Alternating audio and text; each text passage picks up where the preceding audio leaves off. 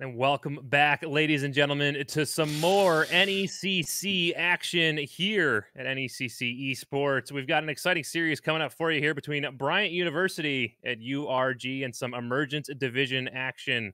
I am your color commentator. My name is Lars Newton. Joining me here in the casting booth is Hypheria for your play-by-play. Hypheria, how you doing tonight?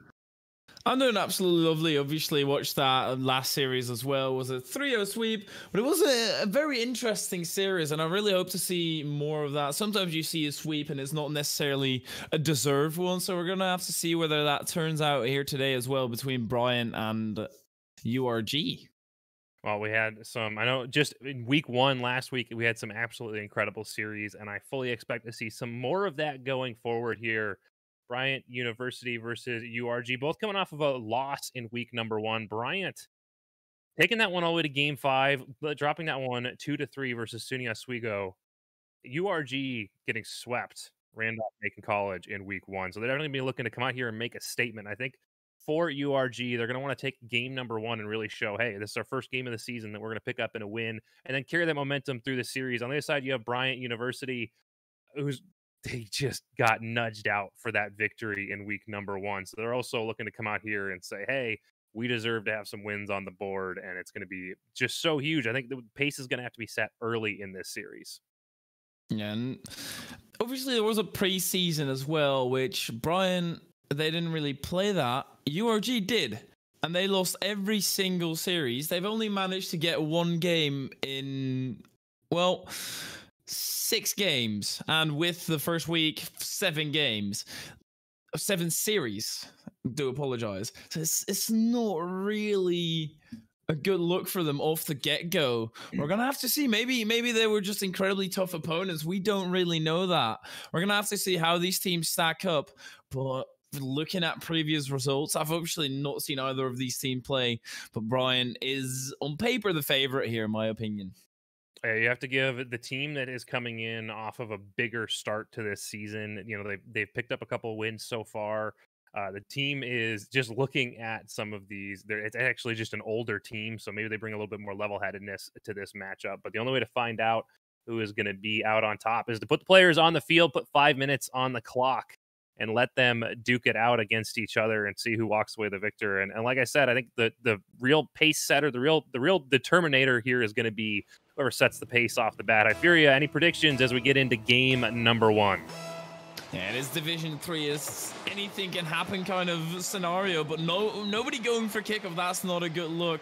And they're all sitting in the goal. I don't know whether this is just a strat that they're going for or what's going on here. Whether they're just messing about, but it's not good because you're already inviting so much pressure. And well, I didn't even make my prediction, but my prediction is going to be Firm Bryant are just going to take this because this is this is not really something you want to do. No, it's not a good start here. I think a little bit of confusion on the side of the field. It was a, a, a, little bit of an early join. It's got the players a little scrambled. And now off to a one goal deficit in favor of Bryant. URG needs to make that back quickly before this gets away from them. Yeah, so it's always unfortunate that you concede a goal due to some things not being clear. Oh my word, Liam almost going off the sidewall. That will drop to Mag clashing and he drops it into the back of the net and that's a more of a lead now for Brian. I really love the way this play developed. It was a great start here, getting that pass down. You have the player lurking on the backfield, ready to take away that backfield defense from the defenders. Get that one touched into the center, and you get all three players involved. That's good awareness on the field. That's a good job managing spacing and getting everybody up and not triple committing, but getting it all settled in. And now it looks like the players have come to an agreement on the field to let a goal back the other way. The only thing about this is we saw the first goal on confusion and now the equalizer to kind of even it out. But that second goal that wasn't off the back of confusion, that's the actual play coming from Bryant, it was pretty commanding. It happened pretty quickly. That's dangerous for URG going forward. Yeah, that could also still be in the scrambles of the game thinking, oh, we just got scammed out of a goal here. They do get one back here. Still, not, not really the most fortunate thing that you want to run into. So we're going to have to see whether they can regain themselves, whether they are able to put that aside and just go at their full force. I, I absolutely love already the gentleman's agreement between these two teams saying, okay, look, we got one out of the scrambles. We'll give you one back for free as well. And Liam going down the field, 14 boost left over in the tank, picks up a 12 pad. As Lawrence going to the backboard.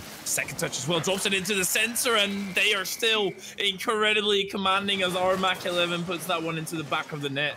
Once again, getting multiple players involved here. The entire team on the side of Bryant getting involved to get that goal home. And that's something, if you're a URG, you can't allow them to do that attack from the corner. Typically, not a very effective direction to attack straight along the wall like that because you don't have a lot of options in where you can put that ball to try to get that attack out in front of the net. But unfortunately for URG, they allow that one across the middle. But here's a shooting opportunity down and across just wide. They're finding good offensive pressure. They just need to find the magic to finish it off.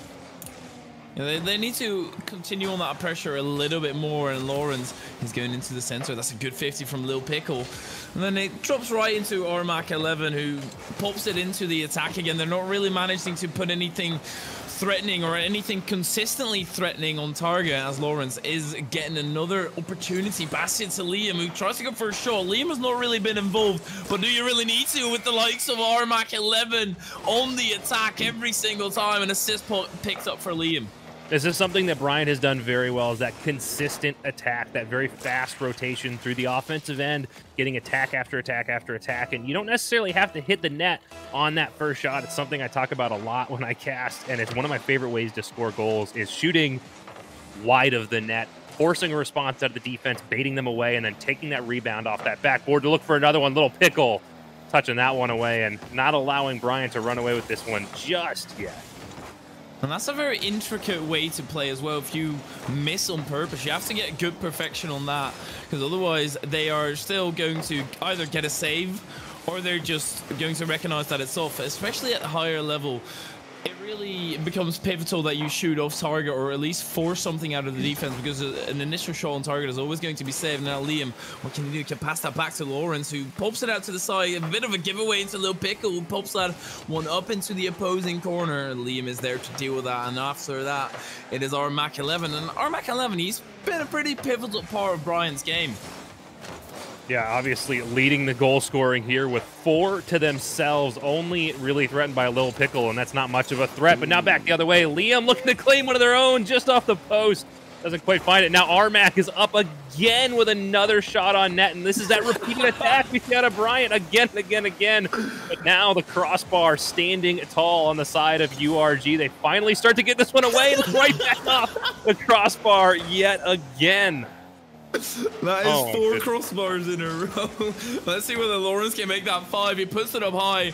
Liam actually drops that one down, but it's cleared out. Now Armac 11 needs to hurry back into the goal. Lawrence is there in time. This is still going to drop into center. Is there anybody going to be up for that? Little Pickle even gets a demo, but there's nobody there in the offensive pressure. Just currently not good enough on the side of URG, and they need to get something more. Lil Pickle might be able to create that something more right here. Can he get the double tap? He can get a second touch, but it's not quite the double tap.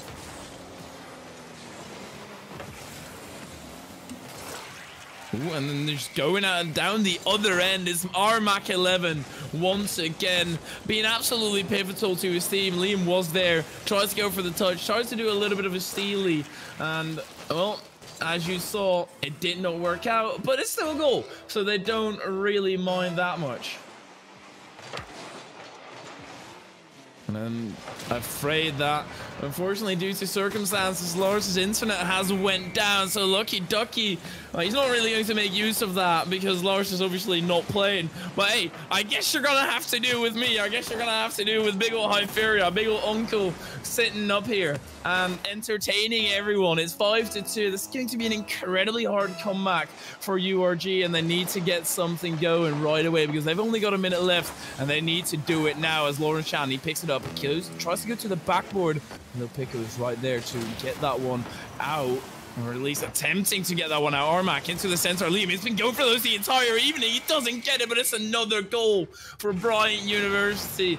Um, it's I don't know. I almost want to call it already. It's it's not looking great for them at all because a four goal lead in a game where they've not really managed to look like the superior team, where they've not really managed to get anything going they might just have to start thinking about the next one already as another pass goes into Armac 11. And It seems as if he's just their entire attack. Every single pass going towards him. He's also got six of the goals on their side, nearing a thousand points on the board. Absolutely pivotal player on the side of Brian. Now Armac is actually going to be a little bit non-selfish and puts it wide to try and get that pass in.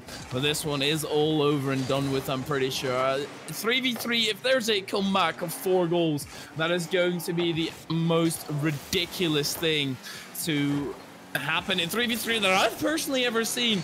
Even at the lower level, that's not something that should happen. And I'm saying lower level, this is still at least top 2%. But, hey, this is the, the, the lowest division. And actually, ooh, our Mac, he's not going to be too happy about that. He had a perfect streak of scoring all the goals, and then Lawrence put one into the back of the net as well. So not a perfect record for him, not all the goals to himself. He's going to have to share a little bit, but that is still a 1-0 for Bryant University, who looks pretty commanding and pretty dominant in this match currently. They're managing to catch URG off guard, and that's not only because of that initial confusion where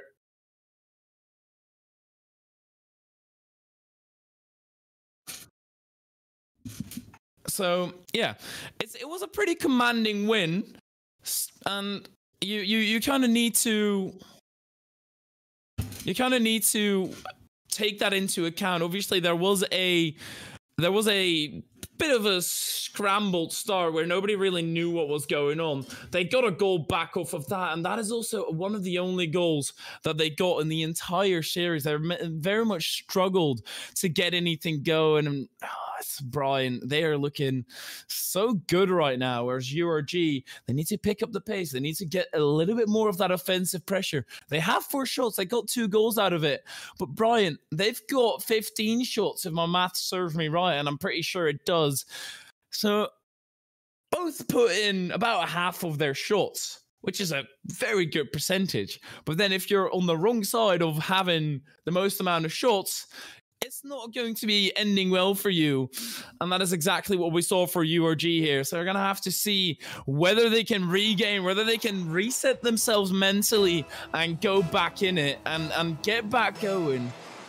Really, really need to see this happening. I think right now, if it's a 1 0, or if I think if it leads to a 2-0, this is a good start for Lil Pico. He doesn't even let me finish my sentence. A miss coming in from the from the defensive side. But if it gets to 2-0, Rio or Rio are gonna have a very hard time coming back. Mm. Well, we're gonna have to see how the rest of this game goes. It's 4 minute 50. An early goal. That is the lovely thing about it. You've still got so much time going on in the rest of the matchups. Uh, they're definitely not out. Arm Armac puts it to the sideboard. Or backboard rather. Now going to put, try and put that sensor as well. It's so that's a miss coming in from the attacking side, but it's still Armac. Obviously, it's Armac on the attacking side. Puts it into his teammate Lawrence puts it in the far post, and that is the equalizer already. Only 30 seconds in, two goals being scored on the field, one on either side. And mm, this is proving to be a little bit more of a battle coming out from URG. They are proving themselves a little bit more, which is what we need to see. They got a goal early on and not because it was given to them. We're going to have to see. Lil Pico, he gets a 50 on it. It gets put off to the side. And Lil Pico, he's kind of the the Armac of URG. But then his teammates need to help him, need to back him up and everything like that as well as, oh my word, Ramsey with a complete miss on the ball.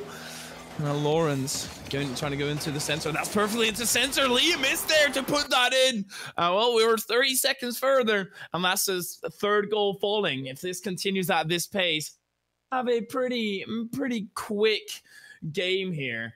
And I, I might be getting some info that potentially my co-caster is back, although I'm not 100% sure on that. Co-caster, co-caster. I am in Lars. fact back. I have we yes. have found a way to bring me back into this matchup and continuing back the other way. URG finally finding some momentum here in game number two, able to keep this one a little bit closer, and there's a shooting opportunity. But you're absolutely right. They need to find a way to strike back a little bit quicker, a little bit more effectively, because Bryant still maintains advantage, and there's the third to Bryant. And now just a minute and 20 seconds in. That is a dangerous lead for them, threatening to run away with this one again. And I already said at the start that if this leads to a 2-0 for Brian, I see a very dire situation for URG. Really need to see him pick it up this game, get something going because the reverse sweep, we've seen it in their in their record. It's not something that they're too familiar with, considering they pretty much got swept every single time except for once. They might get swept again here if they lose this one. Because Brian obviously will be on match point, but there's still more than enough time to play for.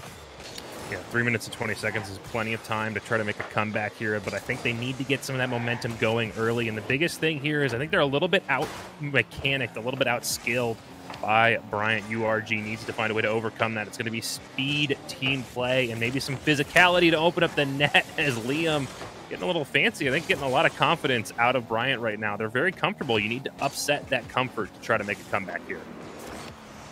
And you need to put them off their game because currently, as you said, they are looking like the stronger mechanical team, which is great practice, but it's not really going to be good for your results as Lawrence puts that one up high. That's going to be dropping straight down. Pickle doesn't read it. No, he doesn't, but the attacking side also doesn't read it. Lawrence is a little bit stunned, doesn't know where to go. Decides to drive back at some point in Armac. That's also not the greatest clear. A few demos coming out, but they're both on the blue side, both on the side of Bryant. So they were still going to have more than enough man back to defend that one out as Lawrence puts it into the corner. Armac, who else? Who else would be right there to take the shot? And his attacking performance, even though he's only got one goal, it's phenomenal.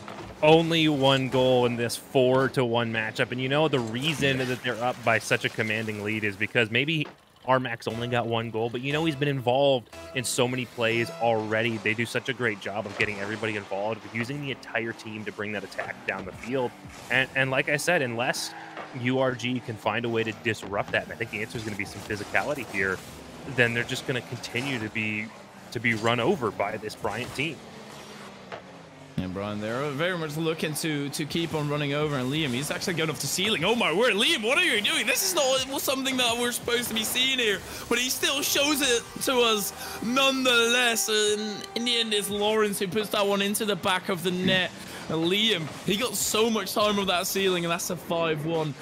And we can't really call it, but at the same time, it's hard to say you or URG are going to get the comeback yeah, four goals in a minute and 56 seconds is very doable. In threes, it's a little bit tougher when you, as you get more players on the field, the comeback margins become more and more difficult to overcome. You know, ones, if you're down by four or two minutes, it's basically you got the whole game left to play. In threes, it's a little bit different, but it's still doable. The issue here is Bryant's not letting off the gas. They continue to score. Liam with a beautiful read off the ceiling puts that one in. Now a five goal lead, 97 seconds remaining.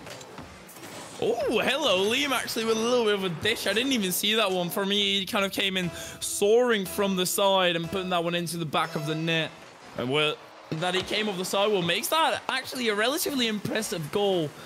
And there's Lucky Ducky trying to get something going as well, but it's, it's just not really good enough. Even though this 50 goes it, across the entire field, there's nobody there to back it up. They need to get going like the Bryant team is because this pass back into Armac. Armac going up for that one as well. Getting a little bit of an awkward touch on it, but it's good enough. And there's the Brazil. That is unfortunate. I don't think, though, that we are going to end on a Brazil scoreline. One way or another, we're going to see something different. But what a little, it looked like an attempt at a pogo or something here, but it ends up just catching ball and car at the ground at the same time, rolls out to that far corner, and a double commit out of URG, make sure there's nobody home to finish that one off. And that's one of the issues we're seeing out of URG is they're challenging either at the wrong time or not at all. We need to see them find a way to settle their rotations, get a player up in the face of Bryant, get challenges upfield to threes. You can afford to be, be a little bit more aggressive. As here we see another one coming back the other way, and that one doesn't find the mark, but it's a yet another threat out of Bryant towards the URG net. And I think they really need to capitalize on Lil Pickle. He's shown good form and, and good speed. A speed that can keep up in this matchup. They're currently not utilizing him as much as Slow Pickle takes it out to the side as well, misses the ball completely, thus proving my point to be completely wrong for that instance, I guess. Nobody actually converging converging on this ball. Mm, it just lies laid dead there in the center for a little bit. They might actually be able to keep on leading by six goals and keep the Brazil intact. Yeah, this is. I honestly didn't expect to see the Brazil stay intact one way or another, but we still have 10 seconds left. Can they find one more for the road? That's a cross, and that looks more like time kill than anything. I think they'll allow this one to draw, and you may be right. We're actually going to see a Brazil here in game number two, barring this last shot. Just needs to touch the ground. Still throwing that one towards the net. Finally, it finds the ground for that Brazil score line, and I do realize I need to uh, do one thing here real quick. I apologize if you wanna you wanna take a second here. I I must say that every time you say one way or another, a song pops into my head, and I really have to make sure that I don't start singing it, copyright issues and everything like that. Um, but it just, it just instantly starts playing in my head. I absolutely love it. What URG isn't loving right now is conceding seven goals in two games in a row now. It's not really a great look for them now. No, and I think the big issue they're having right now is that speed, that aggression, issues related to that. They're not getting up in the face of Bryant. They're not bringing effective challenges. They're allowing Bryant to have tons of space and time to make the plays they want to make. The one thing I do like out of URG, we have seen them clear the zone. Both teams struggle a little bit with that. And what that means for URG is they get time in the offensive end. They get opportunities to attack, reattack, and make plays in the offensive end. They're just not capitalizing. We saw all the way eh, midway through game number one, where they did a great job. Lil Pickle carried that ball down. They got a demo. They got a bump. They kept the contain in, but no one was there to help them out. They need to be less afraid of getting scored on the back end. They need to be more aggressive going upfield and try to find those opportunities, support their teammates, and look for the back of the net. At this point, the defense is already shattered. You should be all offense all the time. Yeah, you, you got to use those shards that are created in defense and start throwing them like little shurikens or something at the opponent.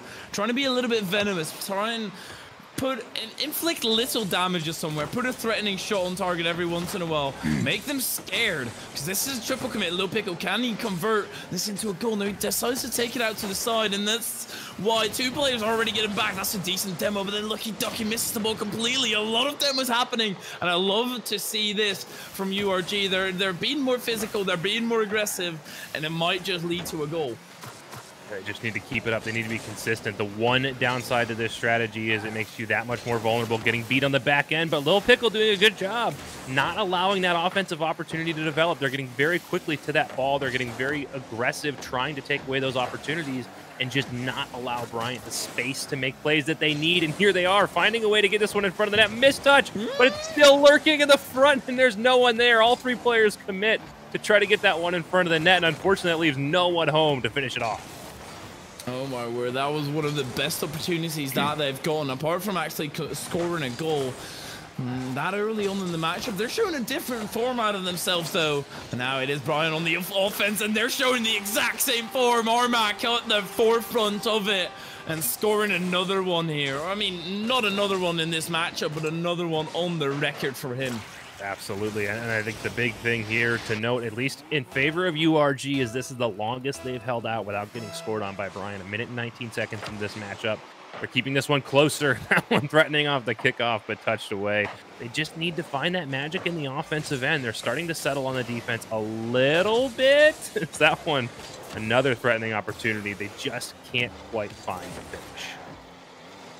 It seems as if URG, they're getting a lot more space because of Bryant. They're just feeling comfortable. They're feeling positive about their gameplay and just going at it with full force, trying to get everything going. Putting a, putting a few double commits on the board there as well, which is not really the strategy that you want to go for. A good shot coming on target from the Ramsey. That is a very delicate touch and a delicate team play here as well.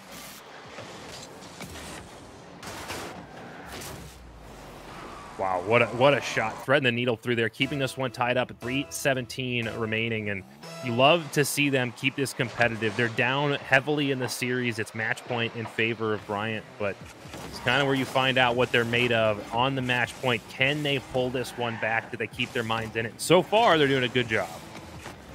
Yeah, so far they are. And honestly, goals don't really matter that much. Series very much do. You want to, you just want to sweep your opponent if you can and not really mess about as much and drop a series and then regain yourselves because that means a drop series that's going to be on your record that's not really going to be great if you ever need a tiebreaker situation or something like that now this pops into the center as well. That's a very good touch, Armac. Oh, phenomenal save by Lucky Ducky, and that's no luck. That's just pure skill saving that one. Out to the side, and a Ramsey trying to convert on that opposing side. That's that might have to be on target. That is on target, but it's just a little bit too slow. Liam gets back in time, and oh my word, then Armac just takes it into, into the other goal. Well, we're seeing the most competitive matchup we have yet between these two teams, but it still lends itself in favor of Bryant. Just past halfway in this game, they're still finding a way to continue to connect to make themselves meet in the midfield, doing a great job opening up those opportunities with those transition plays. That transition is looking incredibly well on the Bryant side. It has been for the longest amount of time. They weren't really able to show that off that much.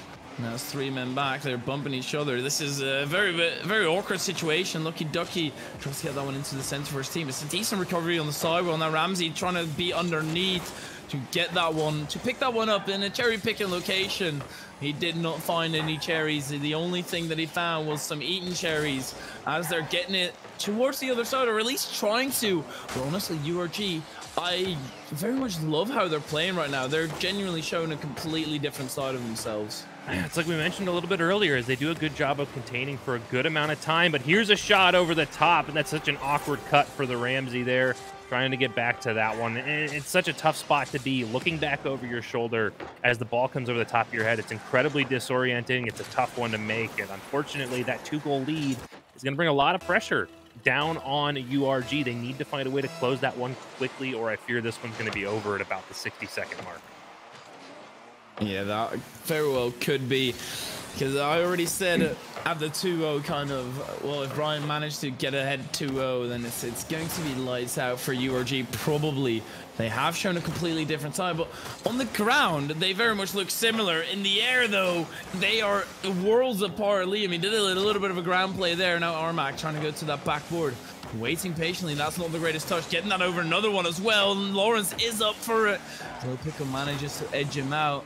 They're not out of defense just yet. They still need to hold on or break out because they are still two goals down. They need to have that transition on point. Very good catch by Lawrence, taking it out to the side. 68 boost. It's Liam on the ceiling. Lawrence tries to go alone drops into Armac and it gets blocked by Liam. They don't transition on it though it's it's so critical to get these transition plays right now, especially when you get these opportunities. But here's Ramsey scrambling back the other way and misses this one, and that's it's it's something we've seen them plagued by. Is when you get low boost, players have a nasty habit of turning away. That one just off the backboard, and Lawrence with the save here, keeping that one away from the net. But the onslaught continues in favor of Bryant, and as the clock ticks down, I fear this is the end for URG in this series. They did a much better job here in game number three, but with 10 seconds remaining and Bryant back on the attack, there it is. That, I think, is going to be the nail in the coffin. And it just was a dominating victory from Bryant. Yeah, this final final one and a half minutes or so was for URG was kind of as you were sitting in the corner in Call of Duty with a riot shield while you're getting shot at with a machine gun. You are not dying. You're not necessarily in a bad position, but you're also not able to break out of it. And then at some point, well, the riot shield is not good enough. They throw a Semtex on your shield, and that's mm. going to be game over. URG once again gets swept.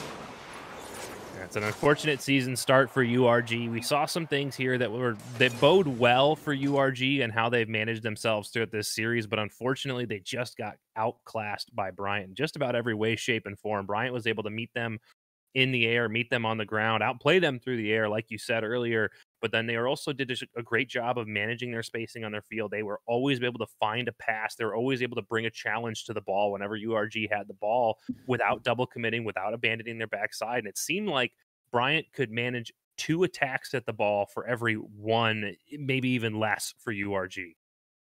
And that's just not a good conversion rate. You, you got to be doing something better than that.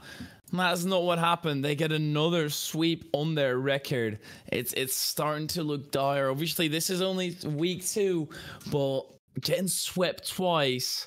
Well, week three, you're really gonna have to start playing. You really have to start practicing, getting that team chemistry in there, so you can come back stronger. The third week, it's definitely a possibility to just get that team chemistry. You probably won't be able to improve on mechanics a massive amount in that time, but still you can work on that team play and that is something with a university team. Team play is going to be incredibly important. As soon as you are able to play with your team properly and, and get that chemistry going you can probably beat people who are more mechanical than you. Yeah if you can out team play you can outplay a more mechanical team to a point to a point. If you have someone that absolutely eclipses your team mechanically, then there's only so much you can do. But I think the gap here was small enough that, like you said, if you can out team play, you could take down a superior team. We are going to be looking for a post game interview here. Maybe we can get some notes on that team play from one of the players here from Bryant. But in the meantime, say you need your esports team managed. Well, Meta Pro Gaming is the team is the group for you. Meta Pro Gaming is a full service esports management, developmental, and consulting company. Meta provides esports coaching, college esports management, arena design, and equipment. You can visit them, metaprogaming.gg, to learn more. Also, you can see me here. I'm on a on a on a hard wooden chair from our kitchen table because I'm on the road at the moment. But at home, you know, the chair you need to have respawn. Respawn products are forged for all day comfort for content creators, professional and casual players, and everyone looking to upgrade their setup. A respawn has been battle tested and achieves a level of comfort that leaves competitors in the dust. Live to play another day with Respawn, your battle ready partner. Oh boy. And also in the meantime, we have we got so many sponsors. Hey, support the people that support us. We only get to bring you all of this exciting Rocket League action with the support of our sponsors. Speaking of which, I had hardware issues tonight. If you couldn't tell, I should have gone to HyperX for some hardware. The HyperX mission has been to develop gaming products for all types of gamers, high speed memory, solid state drives, headsets, keyboards, mice, charging accessories for cards, console players, USB flash drives, and mouse pads to the gaming community and beyond. HyperX gear is the choice of celebrity ambassadors, pro gamers, tech enthusiasts, and overclockers worldwide because it meets the most stringent product specifications and is built with best in class components. Now, as we wait for Armac, you don't have to hear me talk anymore. Ifuria. I think you have a couple more people that are very deserving of a mention here. Oh, very much so. And obviously, sometimes you're like, no, I don't want to buy all that. I don't want to have all that in my in my home. That's where Helix Esports comes uh, comes in. They offer world class gaming and virtual reality experience at state of the art esports centers throughout the United States. So you don't have to buy anything yourself. You can just go to Helix and they'll have everything set up for you. And they deliver a professional esports experience to everyone, whether gamers choose to play, practice, and socialize with friends at or compete at the highest level, Helix Esports is the premier destination for gamers. Follow Helix Esports today at Helix Esports USA. And you know what? That is probably going to be enough ad rolls because we've got someone in here now who's been rolling in the goals left and right. Armac, how are you doing today? Pretty good, guys. Pretty good. Well, it was a, uh, a commanding victory you had there over the team representing URG, and obviously you had a wonderful series. You put a lot of goals in. I think I lost count somewhere around the midpoint of game number two. What do you think was the key to being able to have those that many scoring opportunities? I mean, the guys that I play with, my two teammates, I mean, they're just mechanically really good. I mean, I was just there at the right place, right time, banging home goals. They were doing all the real work on it. I mean, I think our team's pretty good mechanically, and we're getting our synergy together right now. So I think it was just we're all over them. We're moving together well, and I was just there to clean up for them. Well, was definitely something we noted going through that series was that ability for Bryant as a team, for you guys as a team, to bring that repeated attack, to manage your spacing on the field, and get just get everybody involved on those shooting opportunities. And and you know, my philosophy has always been it's great when you have a player that can pop off and score a bunch of goals, but you only get to do that with a solid team behind you. So I just I'm kind of curious, how long have you guys been playing together? Um, so two of us have been together for about a year now, but then one of our new guys, this is only our second or third series playing with them actually, uh, Liam are there. So our team's still kind of getting together, still kind of clicking. The at times, as you could probably have noticed in the game, but I mean, we're all friends. We're getting to know each other pretty well right now, and I think pretty soon we'll really start clicking and firing on all cylinders. It's a great start to the season. I mean, obviously uh, not ideal in that first one, but to come back from that first series of the season and come out here with a dominating 3-0 sweep over URG. That's a great way to get some momentum going into the next week. Ifuria. I'm sure you're itching to literally itching to ask some questions over here. uh, perfect. I already knew you were going to say over. that. Uh, we're on the topic of first weeks and, and a new player in there. Is that something that you guys had to adjust to when you guys feel as if you're getting stronger every single week?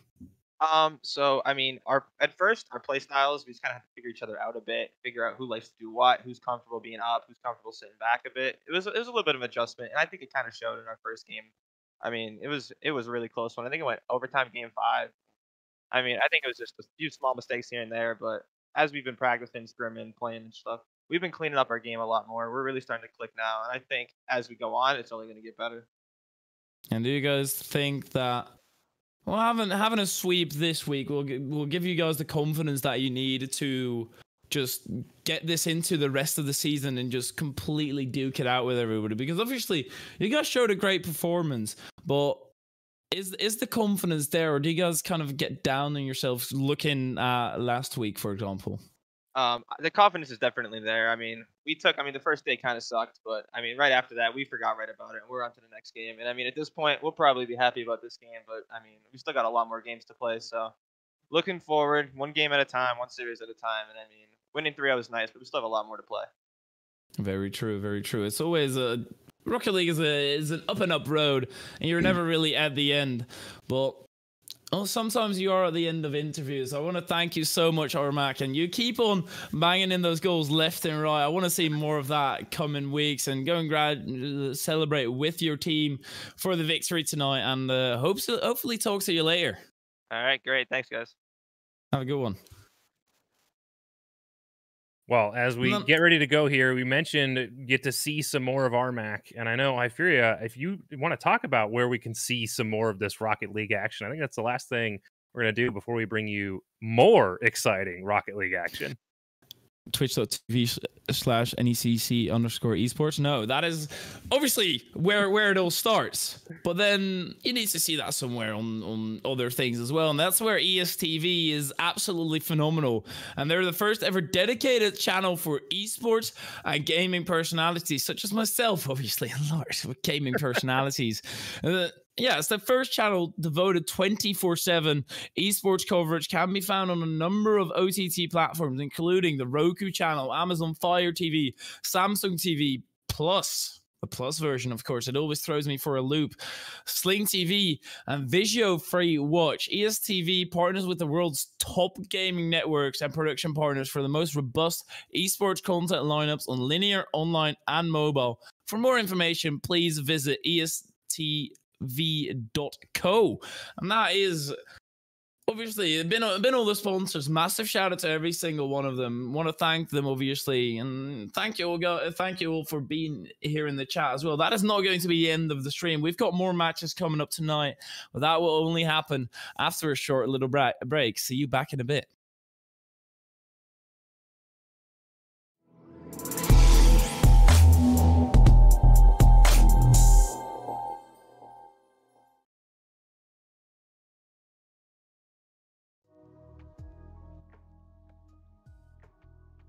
There's the music.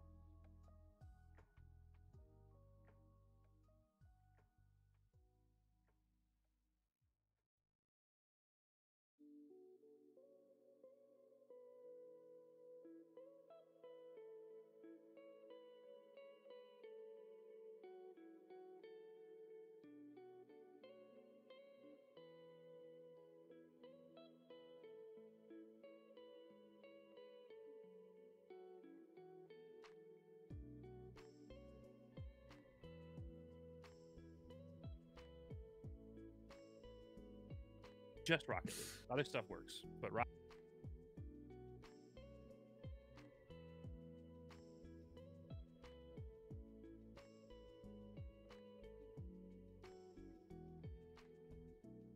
Hey, Buzz.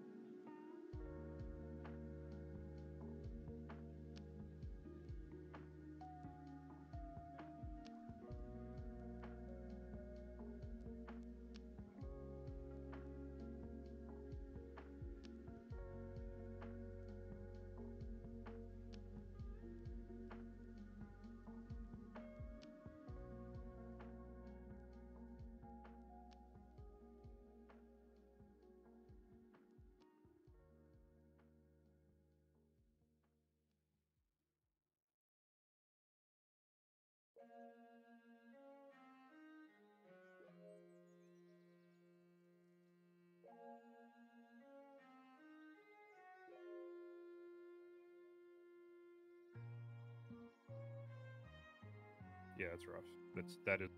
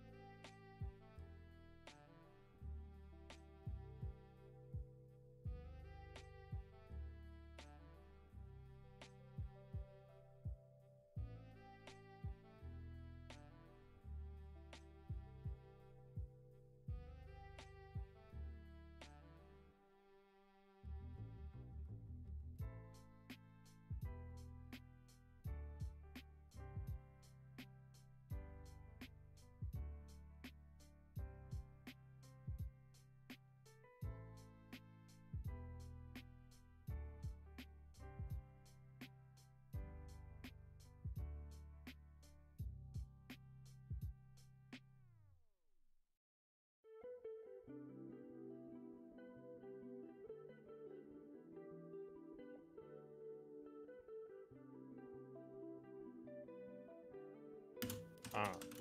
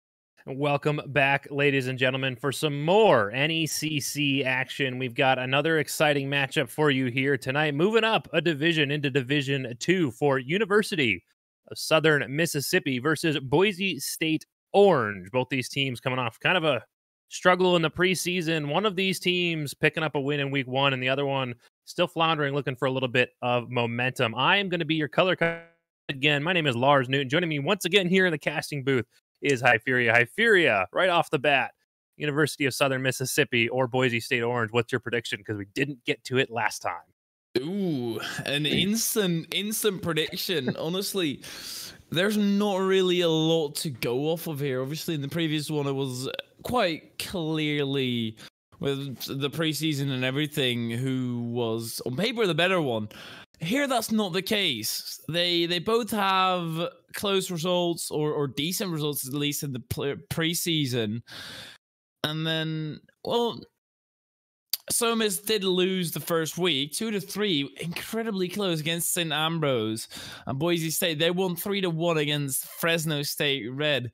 I don't know. I, I, it's the second team of Boise State, and always with second teams, I feel like they they always get that experience from the first team kind of integrated as well. So my bet is going to be on Boise State. Honestly, not really based on a lot. Well, I like your logic there of when teams are bringing lots of high profile players to the to the match, you know that they're getting a lot of that uh, in inside practice, those in-house scrims that are so useful and so great for improving everybody as a whole, not just one team or the other. Gets lots of good mix and match there, and you can allow each other to train back and forth. I actually was a, actually was a boxer in college, and there was one particular school who I won't mention who had a ton of in-house boxers, and they tended to dominate the boxing scene because they got all that in-house experience. So I like your prediction of Boise State Orange, but I'm going to go ahead and go with SOMIS just to be a contrarian here, they did have that very, very close matchup versus St. Ambrose. They had kind of a tough preseason.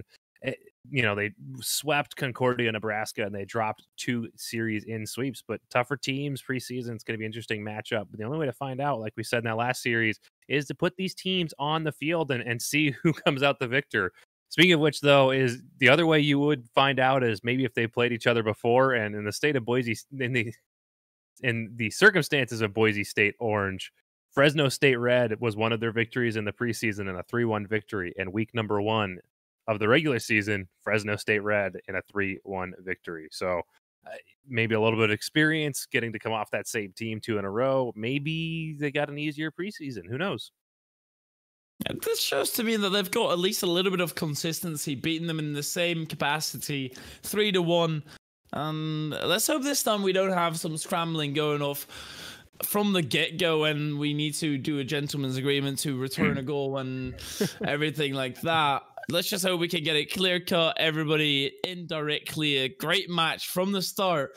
Uh, I'm expecting a lot. We're going up a division and we already saw some very good mechanics coming out in the previous game. I'm only looking to extend that and to see whether they may might actually be able to pull off some insane plays. Well, what do you think is going to be the deciding factor in this series? I know in the last series we talked a bit about how the mechanical disparity between those two teams led to be kind of a factor, but how team play was really the decider and that speed and aggression, that ability to manage spacing on the field uh, in favor of Bryant was the was the thing that allowed them to take command. What here in this Div 2 series is going to be the key to taking up victory? I'm always a man who likes to say brains over mechanics. So good positioning, smart positioning, making sure you fill the gaps. So we're going to have to see that right now because obviously we can waffle all we want. We can say whatever we want.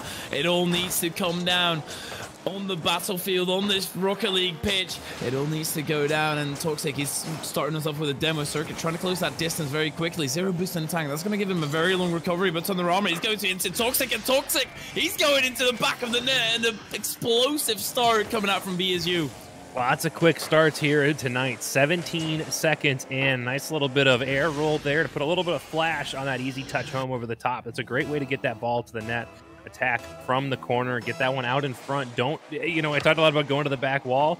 You can get a lot of advantage not going to that back wall. Getting that through the midfield opens up the net very nicely. And we see it here as, excuse me, Toxic picks up the first of the match. And we already could see some micro mistakes coming out. Esper, he had 12 boosts left in the tank. He knew he wasn't gonna, going to reach that ball. He still used his boost, thus slowing down the recovery. And those tiny things are going to make the difference in Thunderama. I mean, I guess it didn't, didn't really make a difference on this play. He just forces it through. It's a little bit of awkward double commit here, but that's still a two-goal lead. That's a nice pass to the midfield by Toxic there. It's not something you typically expect to see out of players. You expect them to kind of drive upfield with every single touch bear. But Toxic, straight across the field, puts that one straight into the wall to pop it right back out and give that advantage to their teammate in the midfield. We're just seeing a lot of great ways to attack the front of the net, and that's so critical here is getting the ball into the shooting lane for a teammate to finish off. Somebody needs to be there, and that's always the thing with passing plays. Everybody on the play needs to be perfect. Now Leighton trying to get that to the other side.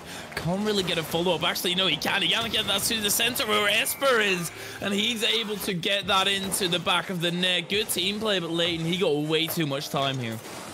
Yeah, Leighton able to touch that one home, and Esper able to tuck that into that nice corner. It wasn't a bad position from Thunderama. As you know, that back post is very advantageous in most defensive scenarios, but if you have a team that can find that far post from the defender, it's almost impossible to get there within time. Now, cutting that lead in half, it's a good it's a good look off the bat here. Can they find a way to finish it off? Oh my word, I was incredibly scared for a second. I, I heard the mic and I was like, no, no, oh, no, no, no, no, no, no, please no. Uh, we're all good, we're all fine in Armor He passes that to Toxic, great pass. Can he get the extension as well? This touch might not be the worst one as Toxic actually is able to try and give Ripper shot. He gets shut down incredibly early. This is not really the greatest pass because there's none of his teammates there. It is an opponent. Lane, he passes it to Esper who could rip a shot. Saved by Circle and Toxic trying to go the other end. Toxic is already looking at like a very attack attacking-minded player on the side of Boise. Bad Apple back into the corner. He doesn't have any boost and Toxic. Great recognition. Gets that sensor late and clears that out, but it's not really the greatest clear.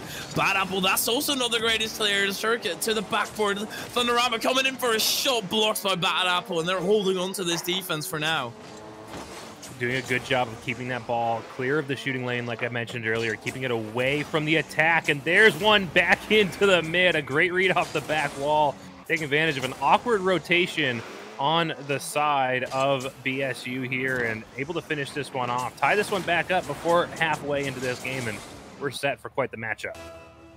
Yeah, phenomenal stuff coming out from SoMIS. They they really were on the defense pretty much the entire time. And then managed to break out, convert relatively quickly as well. So on the side of Boise, they need to convert more. They need to turn that pressure into opportunities, into scoring goals being scored. Thunderama, that was basically an open net off to the side. And Toxic, he's going to look whether he can make that into a scoring opportunity. We know Circuit into the center. Bad Apple, the strategy of just sitting on the goal line and defending it out is proven to be working for the side of Southern Mississippi. The one thing I worry about is is they're allowing lots of attack down towards the net. The one thing that isn't developing is good, solid shooting opportunities, but it is threatening very close again and again. As that one's past Bad Apple, but just wide, touched away. Now follow up, looking for the dunk, doesn't find it. Thunderama looking for the double off the wall, gets this one to center circuit, doesn't get to it first, and we continue to see big bump here. It's open net, just need to finish it. No one's oh, there in oh, time. Oh, no. All the way back the other way. Toxic just scrambles, and I can't even get a point out because these teams, they're getting lots of looks towards the net. But like I was saying earlier, not a lot of them developing into actual shooting opportunities. And I like the pressure, but we need to find a way to make it more effective. Let's look for some bumps and some demos on smart rotations through the mid and then get good, accurate shots on net. Yeah, these are always incredibly intense, and this is exactly why there's so many opportunities, so much pressure, and at some point it uh, just has to crumble. And it seems as if BSU are struggling to keep that defense locked out there, letting their opponents break through way more than they should. It's, it's just not really that great of a look in BSU. They've actually only got two shots, even though they've really been the attacking-minded team on the offense. Circuit got bumped out of the way. Toxic is able to rip another shot, saved by Bad Apple. Circuit into the center once again, but then Bad Apple just breaks away. Thunderama, can he save that? No, he missed it. And the pressure. This just proves that pressure is not everything in Rocket League. No, it, it always throws me for a little bit of a loop when a team can maintain so much offensive pressure and find themselves on the downside of the scoreboard. It's always interesting to me to see that happen because at the end of the day, usually pressure is what wins championships. The ability to continuously attack, continuously maintain pressure. And speaking of pressure, Esper just off the post doesn't find that one in. But here, BSU, like you said, they're doing a great job keeping this one downfield. They're getting good looks towards the net. They're just not finishing it off. Here's an opportunity. Three players required to clear that one away. Again, BSU just not getting there fast enough.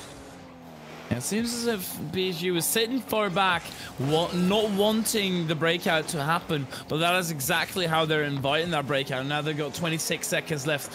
They've got only a little bit of time remaining. This needs to be defended out. Otherwise, they can't forget this match. And Toxic with that miss might already have to forget this match because 15 seconds is not a lot to come back. You need a goal right now, and then after that, you need a good kickoff. But currently, it is still Somis in control of this ball, or at least BSU not fully in control. 15 in the midfield, and that is going to conclude this game. And BSU, they have had all the pressure. So promising start, but they, they need to get out more because Somis, as you see, will be the victors of the, this initial game. Looking good on the counter. I think the one thing to note here is we saw BSU spend so much time down in the offensive end. They did a great job containing, they did a great job attacking that back wall. But just look at this stat line here three shots on net. And I know Rocket League doesn't do a great job of counting what's actually a shot on net and what's not. Excuse me, four shots on net, but it does do a, give you a good directional feel of who's getting an effective attack, attack and who's not. If the you could spend that much time attacking down in the in the offensive end and still be outshot by your opponents, that doesn't look good for how you're using those shooting opportunities, how you're taking advantage of the opportunities as they're presented. On the flip side, allowing a team that is just really getting those quick transition plays and not establishing that offensive rotation to score four times on seven shots and outshoot you in the process, you need to find a way to disrupt that transition play and capitalize on opportunities as they present themselves. Yeah, this is, is looking like something that we talked about the last series where it's a great strategy to put the ball wide and let somebody else score it. They're going for this a lot, but then on repeat. They're not really getting further than the first step of putting it wide. Mm-hmm. And then the next one puts it wide as well. The other one puts it wide. That just keeps on happening continuously. So they, they need to have somebody who actually says, okay, I'm shooting this on target. We're getting this going. We're moving on.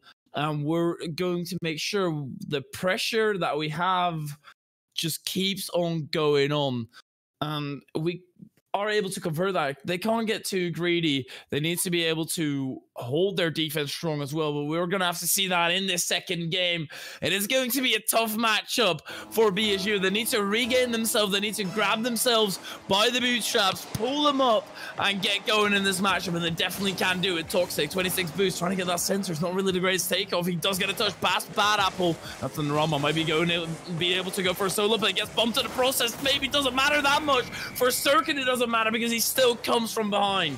Wow, that's a great follow up from BSU and a good way to start this one off. Esper getting the touch on Thunderama to take away that double touch opportunity, but Circuit makes a great read, a good quick upfield rotation to capitalize on that one and finish it off. And that's exactly what we asked for capitalize. I'm sure you're sick of hearing it at this point, but until we see these teams do it consistently, we're going to keep saying it because that's what's going to be necessary to win these, these games here.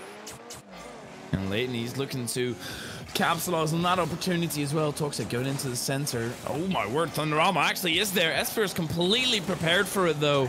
Thunderama, all he can do is go for a corner boost to a circuit. Closes the distance on Esper. Toxic with a phenomenal chance. Might be able to go in, into the offense. He can't beat Bad Apple. And that is good enough for Esper to get that ball out for now. But once again, the pressure is surmounting it. Oh my word. Where was this the last game? This was an absolute boomer. This is a gorgeous infield pass, a great read from Thunderama. Send that one over to Circuit, and they managed to do it with speed and aggression. They didn't just make a nice lofty pass across the mid. They didn't slow down, take their time, and now when they saw the transition opportunity, they took away that clear and they finished it with authority. Definite authority, and that's only a minute into this match. They weren't happy with that previous result. Um, well, the shooting man stepped up circuit, two shots, two goals, and Thunderama with both assists. And well, I guess Toxic he will get a goal on the board for himself as well. I don't know what's happened here. Either Somis have just completely given everything up, or BSU are just another level right now It's a wildly different game than we saw in game number one. With BSU, they finally started to click. They finally found a way to make this work together, and now they're finishing it off. Circuit's trying to finish that one off. Leighton gets in the way of it, though. That's Thunderama onto the side. Going to bounce off the backboard. I don't know whether anybody noticed, but Thunderama did get that corner boost. Though. It doesn't really matter if you still concede on the counter attack. The circuit gets past one. Thunderama reinforcing him from behind. Circuit once again gets past one. Not really the greatest touch coming out from Thunderama. The Toxic goes to the backboard. Leighton gets the clear out. And it's looking as if Somis are able to regain themselves a little bit and calm this game down. The one thing they haven't been able to do, though, is establish an offensive pressure and offensive rotation. They've got one shot on net to the five in favor. Now six in favor of BSU, leading to four goals. This is less than two minutes into this game. They're already up by four. That's plenty of time to get it back the other way, obviously. Four goals in less than two minutes is possible. But with the way they're just getting outclassed right now by Boise State, they need to find a way to disrupt that. And I, and I hate to be a broken record, but go back get some of those bumps, get some of those demos, and try to take advantage of disrupting this team play and the speed and consistency we're seeing right now out of Boise State.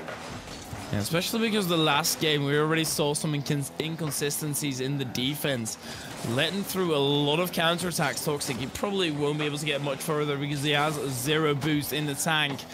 Still got a relatively far circuit. He also doesn't have a lot of boost. I don't think the surmounting pressure will come on this time since the boost is very much lacking indeed. Bad Apple, he's cutting a lot of time. But does he use that time? No, not at all. It's Circuit going into the corner, into the center, where Thunderama will be waiting. Doesn't manage to get in, to get a shot off. Esper actually wears the entire defense. Toxic comes in from behind and gets that one into his own corner. This is looking a little bit scary for BSU. They need to keep that defense locked tight. They've done such a great job up to this point of getting that ball clear, not allowing opportunities to develop, and now we're seeing Somis finally, finally, finally sign some offensive pressure. They just still struggle to get the ball effectively towards the net. They've only picked up one more shot on goal, and they're still not finding a way to sneak it past this defense. I'd like to see them get to this ball a little bit quicker in the offensive end. Just because you're not getting your net threatened doesn't mean you have time to sit and wait on it. And needs to always keep up that speed. Speed is a pivotal part of Rocket League and Esper. He was trying to go a little bit too speedy there, missing the ball completely in the process. Uh, Esper on the sidewall. What can he do? He can get a 50 with Thunderama. Toxic, he's trying to stay underneath, but that's not really the greatest positioning. Um, usually you'll be beat by your opponents, so you don't really know whether you're getting beat. So you're, you're, you're basically just jumping in blind. Leighton, that's into Bad Apple. They need to get a goal going relatively soon because four goals in one and a half minutes is already a tough enough task. Obviously, if that is a tough task, the further the clock ticks down, the tougher the task is going to be. Also, not able to convert on this position. The circuit goes to the backboard. They might be able to convert this one. Toxic has a complete open net, puts in the 5 0, and that might just seal the deal. That's going to be very tough for Somis to make a comeback here. They've been allowing this first with that offensive pressure, BSU being able to find good quick rotations in the offensive end, attack that backboard, and get follow-up shots. And also allowing them to hit those transition plays means you can really be attacked from anywhere on the field. It's dangerous territory. You need to shut that down. Especially looking at the previous game, it was a little bit of a mismatch from BSU. They, they weren't able to get going, but now they're going, and that must be scary for Somis. They they are also looking at that previous game thinking, oh my word, we destroyed them. What a bump coming on there against Leighton. They should still be able to convert, indeed they are. Esper puts that one in, gets credited with it. But Leighton, he had a completely open net, wanting to turn in, just got bumped out of the way this is what we asked for out of Somis. Get disruptive, get quick follow-up attacks, demo the defenders, disrupt their defense, and punish them for it. Great job finishing that one off. But 40 seconds to go. four goals down. That's going to be very difficult to finish off. The good news is if they can pick up one more goal here without getting scored on, they carry good momentum into game number three and can hopefully set themselves up on match point.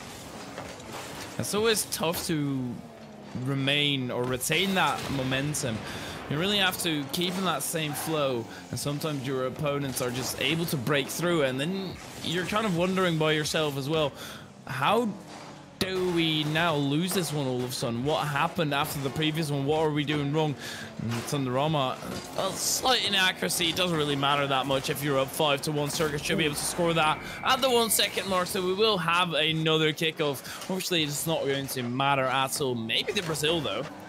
Yeah, this this is a is a absolute dagger in the heart for So Miss being able to push that last goal in there and any kind of momentum they had built up with that one goal at about the 42nd mark on it's dead and there's a shooting opportunity almost for the almost for the Brazil but they don't quite find it. Now we're 1 to 1 in the series. This is as close as we've seen it yet here tonight and it comes on kind of an interesting mix here. So Miss able to just kind of walk on BSU through game number 1.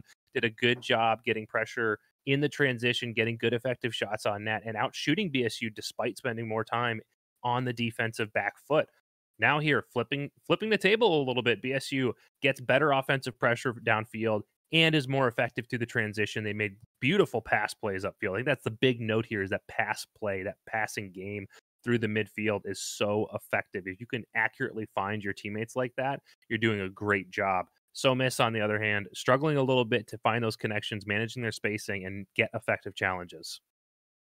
Yeah, we're gonna have to see how they will be able to come out in that third game. For me, it's already phenomenal. This is the, as you said, the first time this evening that it goes longer than three games for sure. We don't have to wait for that final game to potentially see a comeback happening. No, we've got more than three games of Rocket League, everyone. Phenomenal stuff coming in already on on that department, on content department, they still need to prove themselves. We've kind of seen one-sided matchups where it was Somis in the first one and Boise in the second one. And now I really want to see them combine the powers and, and just clash at full force. It kind of when a unstoppable force meets an immovable object. I, I want to see that happen. Um, I, I have to do this because I'm a huge nerd. But uh, fun fact: those are actually the, the, same, same thing. thing. An mm-hmm. unstoppable mm-hmm. force and an immovable object are the exact same thing. But also, actually, also know the answer. What happens when they meet?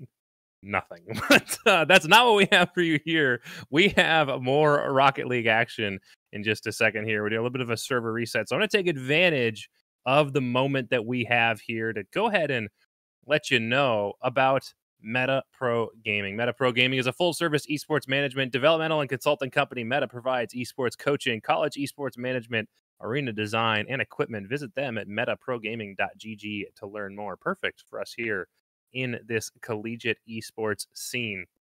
And maybe, maybe something some of these teams can take advantage of going forward because it's it's been a little bit rough tonight. We've seen a couple of sweeps, a couple of rough matchups and these teams, I think it's a team cohesion issue. They got to spend more time working together and and figuring out where they are on the field. I think that's the biggest thing is if you know not just where you are on the field, but where your teammates are on the field, you can do a much better job of of committing to plays, playing faster, playing more decisively without getting those double commits and without having to calm everything. And that's huge. If you can shorten that decision loop by having good chemistry with your team, it makes an enormous difference in your gameplay.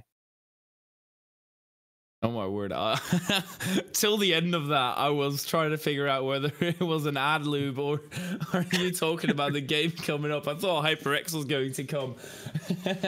oh no, no, but very, very true. Yeah, you need to make sure that you have the best connection and then just you can work with your team into perfection. You know where your team is going to be, and you know what to expect from your team as well. If you're sitting there thinking, "Oh yeah, no, my mm. teammate he'll score that double tap. I'll just leave to the side already. I'll have a great time sitting at, at the corner booths because that's what I like to do after a goal gets scored."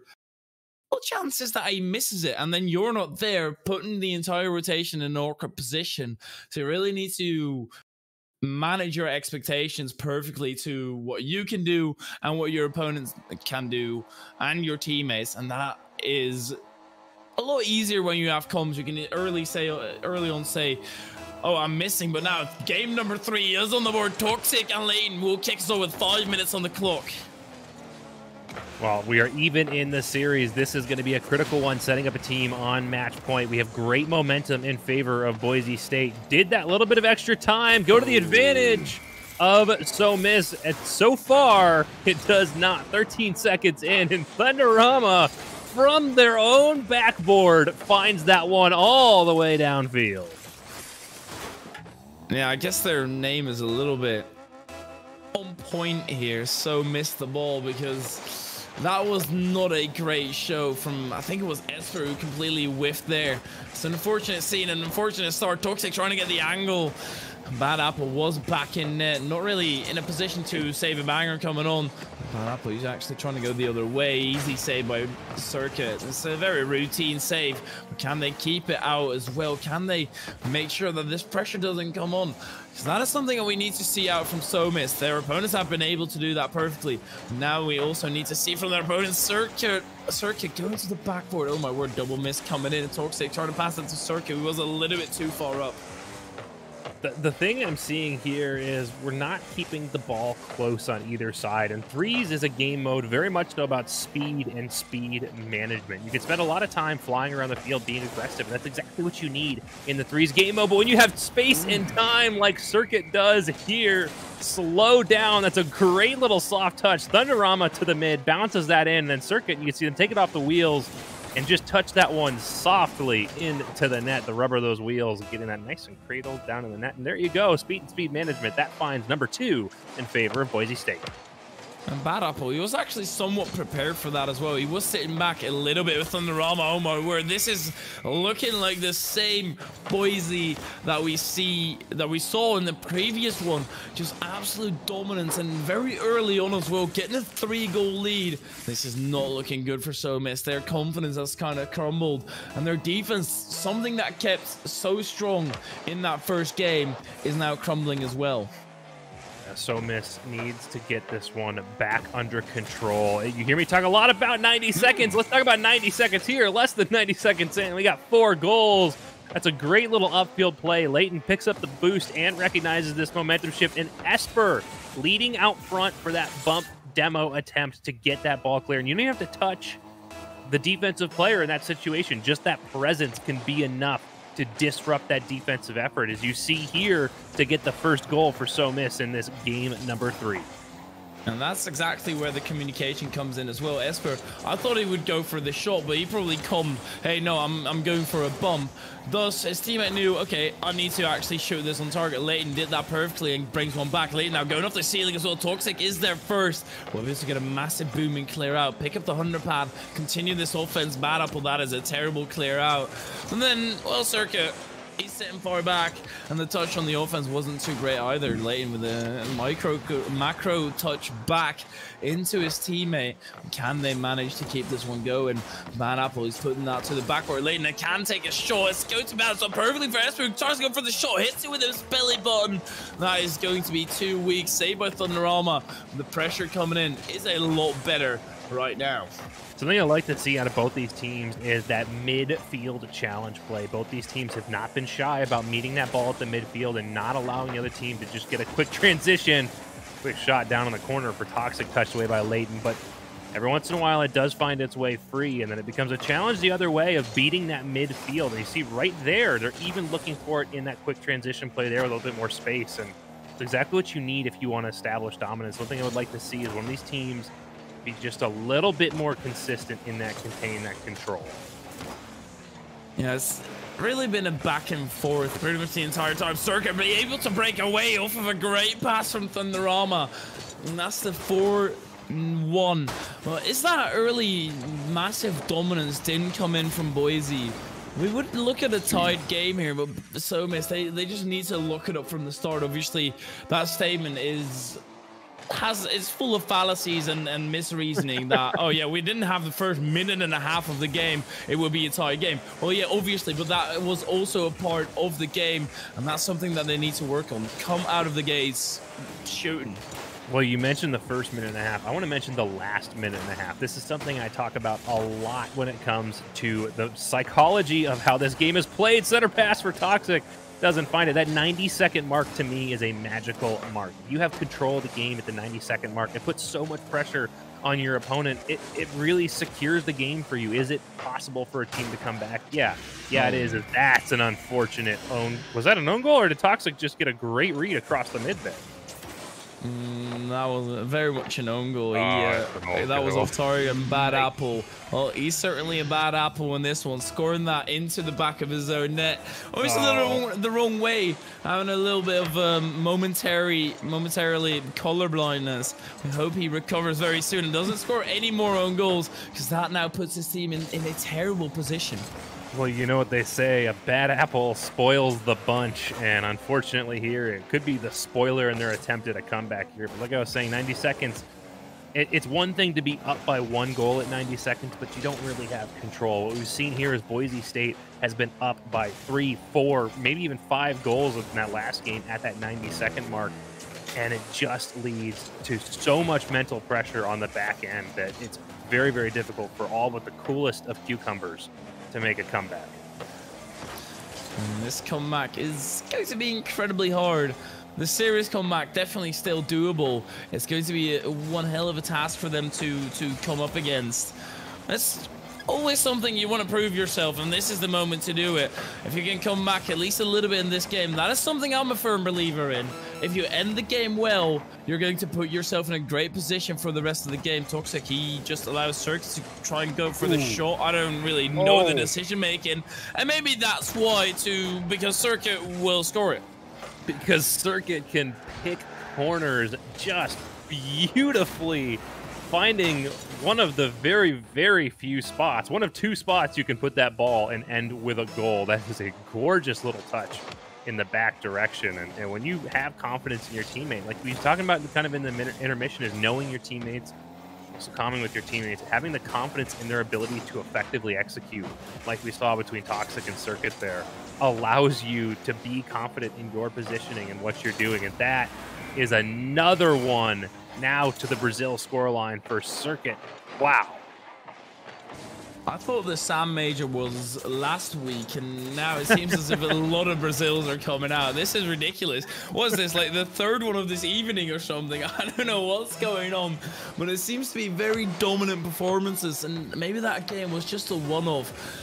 I'm not too sure, but Circuit, he's been playing phenomenal. He's got 100% goal involvement rate, four goals, three assists for him on the board.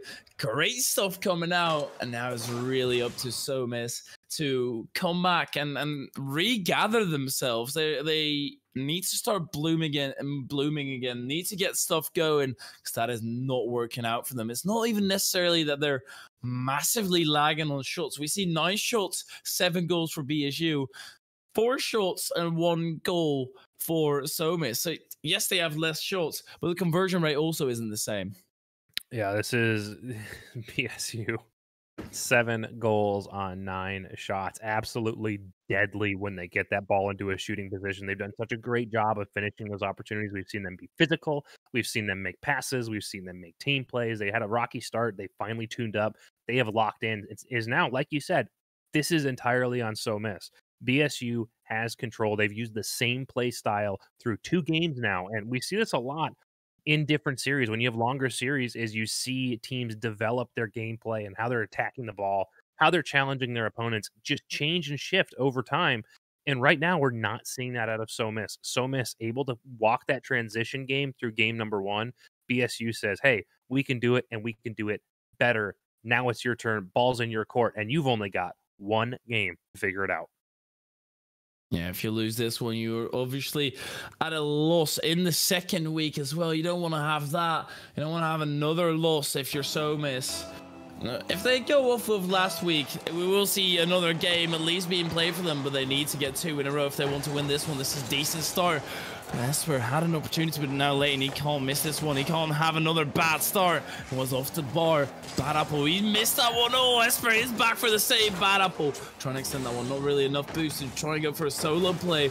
Thus, he won't. Esper with a decent challenge on the side wall. Leighton, what can he do with that one? He can get it out to the side, but only as far as Thunderama, who's just waiting there. Well, we're seeing some good contained play here. Out of oh, oh no. That is absolutely heartbreaking for Somis. They controlled the first 33 seconds of this game. They did such an excellent job keeping their shooting lane clear, getting pressure downfield, being aggressive, getting attacks on the opponent's net, and then just 150 shuts it all down. Now, fellow caster Leechy, who I think you'll be hearing from later tonight, um, he loves to say game four is where you see what teams are made of. And this it's really going to be true here for Somis. Can they have the mental fortitude to not only come back from being down in the series, but come back from that heartbreaking momentum killer at the start of this game? Yeah, it's at least easier to say, oh yeah, no, uh, that was just an unfortunate 50, but this is not going to be an unfortunate 50. It's just a shot from Thunderama. He's in an awkward position. Good touch out to the side, though. He's able to follow that one up, and Circuit, he's really running around, uh, around the entire side of Somis. He just outplayed three defenders on defense right there to break out. And sometimes you just need that solo player to give your team a lot of space. Toxic, he got beat by his opponent. Esper has an opportunity. Shot on target. Circuit with a save, though. Bad Apple has has an auto opportunity. That shot is way too weak. Allows it to pass it into Thunderama. And then the long shot Esper makes the save. And the one goal lead remains intact. It, Circuit right now feels absolutely comfortable. They don't feel pressured at all. Everything they do feels like they have all of the confidence in the world. That's always interesting to me as a caster watching players and teams and just being able to just get that general sense as Thunderama over the top. And now we're, we're slowing down the scoring pace of Boise, but we haven't shut it off. Somis needs to hit that faucet and, and flip on the other one and get back the other way. Honestly, they just need a goal going for them, especially because, first of all, that goes the lead in half. Second of all, that gives them a little bit of confidence. Bad Apple has an opportunity to do so here. Circuit obviously is in the way. He's honestly such a phenomenal player on the side of BSU. He's really having the team on his back here a little bit and, and carrying them in a certain to a certain extent. Leighton, he's looking to do the exact same, trying to create an opportunity to Thunderama into Ooh. Circuit. Circuit it's a shot. It's not a good shot, and it will be saved by Esper. Please tell me this is going to be saved. Oh no, it's not. This is this is also not a great showing. That is uh that is a yike. Unfortunately, Leighton misflips here and Bad Apple off the post. Can't get behind that ball. Allows that slow roller in, but it goes to something else that I like to talk about here, and that is clearing the shooting lane. It's not enough to stop the shot. It's not enough to get the save. If you leave the ball in the shooting lane, especially in threes, especially with teams like this, you're going to get punished for it. We see this here. They got the touch off the back wall. They took away that initial shooting opportunity, but left it for Thunderama to finish off and left their teammates in an awkward spot. Unfortunately for Somis, now more than half the game gone. This is match point in favor of Boise State, and they're down by three. I, I I hate to say it, but I think as far as we're going touchy feely, this is how I feel things are. If Somis doesn't get a goal in the next 45 seconds or go or so, this could be over. I like how you're still kind of sticking with that 90 second uh, indicator. Just cutting it in half because they don't have a lot of time. And late, you don't want to side flip on the shot that you have. It was such a great opportunity to try and get one back here. Nice for trying to get that into the center. Bad Apple did a little bit of a 360. He's not really going to help him though. Circa was still able to clear that out. Esper once again with an opportunity. Save with Thunderama, but that was a double commit triple commit coming in. They can do it better. They can go from a double to a triple. They can't really manage to break out because of that. And Circuit get, gets into the center, but that was a very good challenge. Thunderama gets someone out, and that should not have been allowed. They went from a double commit into a triple commit. You should be able to break out after that. Furia, this is how this is how you're going to win RLCS, all right? When you're triple committing, that's not a bad thing. That just means your team is on so much of the same page you have such hmm. great cohesion, you're just gonna walk through RLCS. I'm kidding, of course. You never want to have three players committing at the same time, but at this point, it feels like it doesn't even matter. Boise can commit any kind of Rocket League sacrilege, Rocket League positioning crime, and they're just not getting punished for it back the other way. They're getting shots on net. And they're getting shots on net not really converting that much, but they don't need to. They're three goals up, 35 seconds remaining. Bad Apple needs to break away, needs to get out and circuit. You never want to see him up against you when he's in a shadowing position because he's been doing so phenomenal defense, keeping you out of there. And then also in the attack, he's just been a powerhouse throughout this matchup.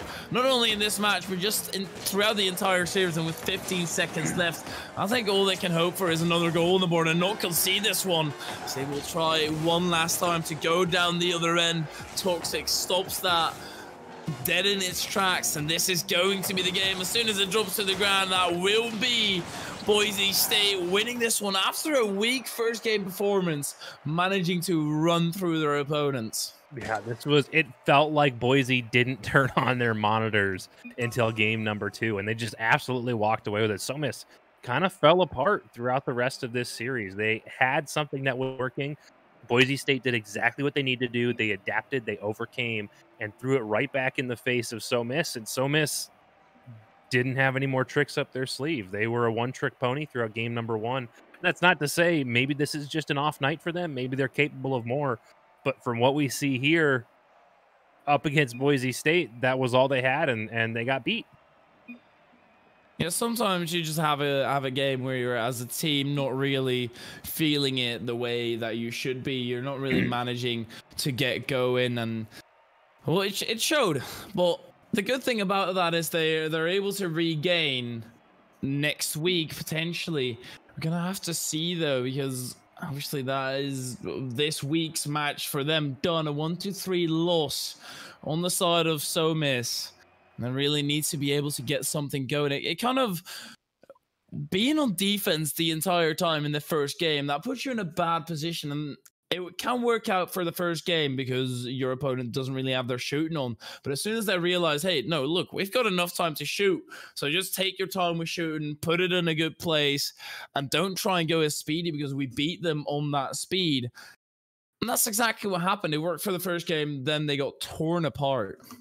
Yeah, and and something to mention, I talked a little bit about like the psychology of Rocket League and how that kind of plays into how these games turn out. You mentioned that they spent the entire first game in the defensive end. Yes, they walked away with a victory, taking advantage of those transition plays, out shooting a more effective when it came to actually attacking the net than Boise State. But one of the things that happens when you're in the defensive end and you spend so much time defending your net, it's mentally draining. It wears you out. And even if you get away with it, you're just tired going into the next series and it's a very real effect going forward but the thing i want to know is does circuit use hyperx products or respawn products? What are those you may ask if you don't already know? First of all where have you been? You see them everywhere and with good reason respawn! Respawn products are forged for all day comfort.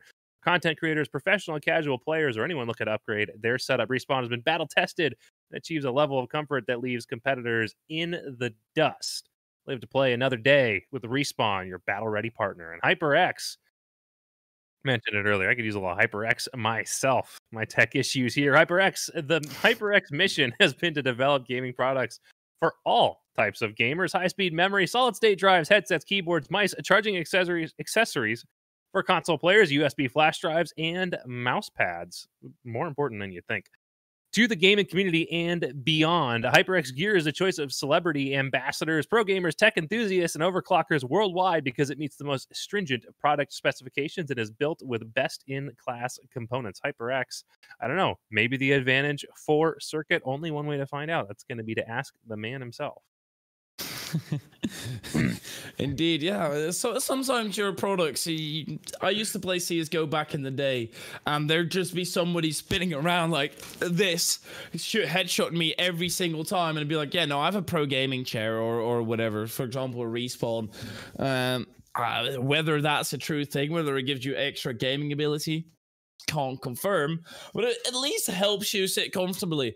And obviously, some sometimes you want to sit comfortably in another environment as well, potentially with your friends or whatever, and that's where Helix is a great opportunity. Helix Esports offers world class gaming and virtual reality experiences at state of the art esports centers throughout the United States. Helix Esports delivers a professional esports experience to everyone, whether gamers choose to play, practice, and socialize with friends or compete at the highest level. Helix Esports is the premier destination for gamers follow Helix Esports today at Helix Esports USA. And it seems every time I finish with Helix Esports, the candidate comes in and circuit. I guess we're just gonna get this right off the bat.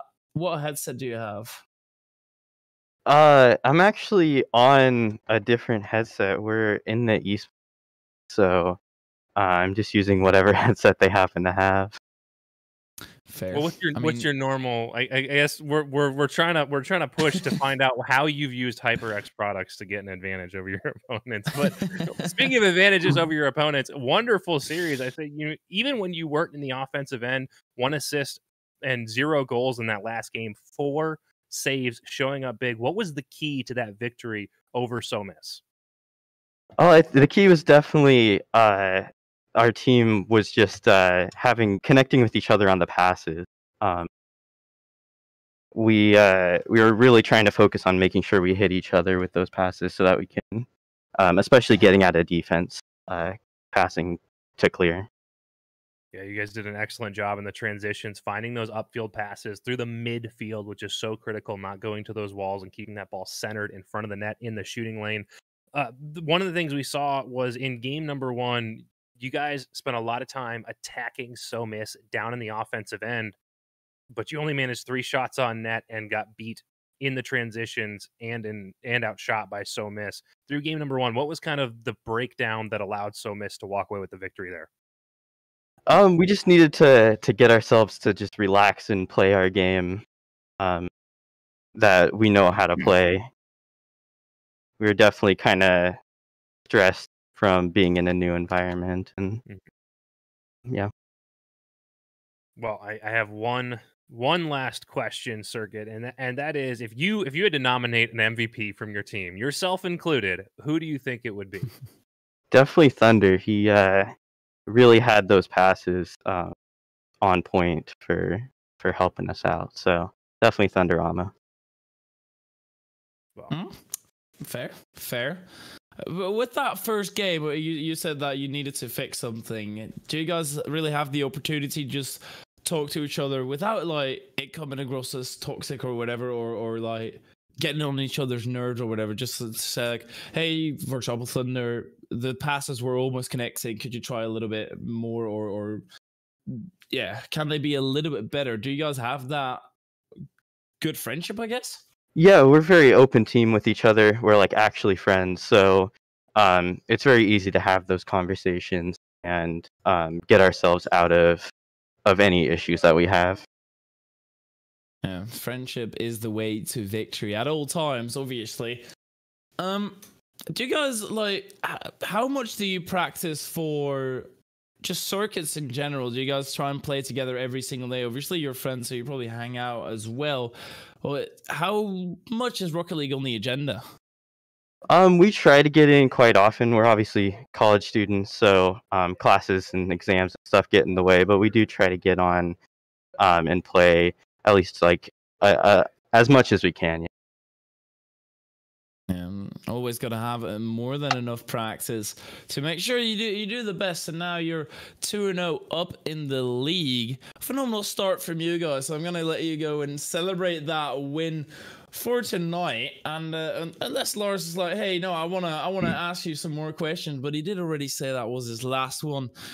You know, once again, congratulations, Circuit uh, hopes to definitely see you back on the play once again and potentially speak to you again. For now, have a good one. Thank you. Obviously, that was a circuit from Boise State. Mm, before we head into a, a tiny little break, obviously, as I said, somehow they always manage to come in after Helix. Then You might know the riddle by now. We've got ESTV coming up. ESTV is the first ever dedicated channel for esports and gaming personalities. The first channel devoted 24 7 esports coverage can be found on a number of OTT platforms, including the Roku channel, Amazon Fire TV, Samsung TV Plus, not throw me for a loop this time, Sling TV, and Vizio Free Watch. ESTV partners with the ESTV partners with the top world's gaming communities and production partners for the most robust esports content lineups on linear, online, and mobile. For more information, because obviously I can't say it all, please visit www.estv.co. And with that, we will be heading into a tiny little break. And after the break, we unfortunately won't be there. That doesn't mean the quality will go down it will still be a phenomenal series, a phenomenal production being put together. But for now, we're gonna head into a little break. We will see you afterwards.